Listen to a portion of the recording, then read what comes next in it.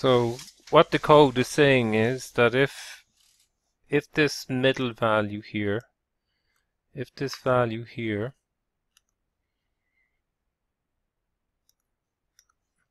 is greater than zero, so if we take the value of this value here, if it's greater than zero, then we simply go to the midpoint is equal to A. It, as it turns out, it's not. So, in other words, else B becomes the new midpoint. Okay, so the midpoint then gets pushed, put back in, and we take, so the new midpoint becomes the average, the new B, the new B becomes the, the, the previous midpoint. So then we would put in 3.5. 3.5. Let's just take it as 3.5. We come back again. We find that this midpoint is not greater than 0. It's actually less. So the new midpoint again must be 3.5. So the new, uh, sorry, the new B should be uh, 1.75. 1. 0.75. We still find it's negative. We go again 1 point 0 0.875. We find that it's still negative. We go again 0 0.4375. The midpoint is still greater than the mid uh, CDIF is still, if we have a look at it here, this value is still less. So if we take the mid CDIF, this value, it is uh, less than zero. So that implies the new midpoint for B is the old, so B becomes this value here. So we put in 0 0.21 875 and now we find that this values went from being if you like from being negative to being positive. And in that instance if this value if this value here is greater than zero then uh, we take a and the new a becomes this so this value here becomes um, a. So we write in 0. Uh, do that again. We put in 0 0.10937501 and we find again that the mid mid CF is greater than 0 so the new A so let's copy this we could just simply go copy and paste value. Paste special and value.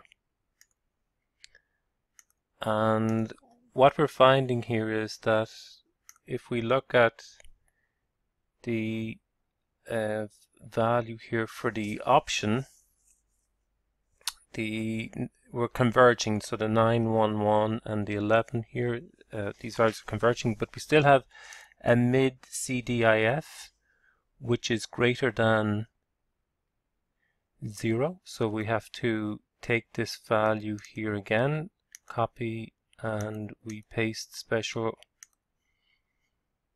and value. So A is being raised, and now it's 19, and now this value is is negative. So we take this value here and we copy and we paste. So B, we now um, paste special and this value becomes B. And you can see again the difference between uh, the, the tolerance. The tolerance convergence value is here 0, 0, 0, 0, 1 um, and we're still in excess of that so we keep going we don't stop Um, we notice that if the absolute value here is less than the tolerance, we go to the last line, but we're not there yet. What we find is that the value here is positive. If the value here is greater than zero, then we take the value here again. In other words, we're raising a, so we'll take copy and we'll paste this value in again. So paste uh, special, right click, paste special uh, values, pull across, and of course this has gone up.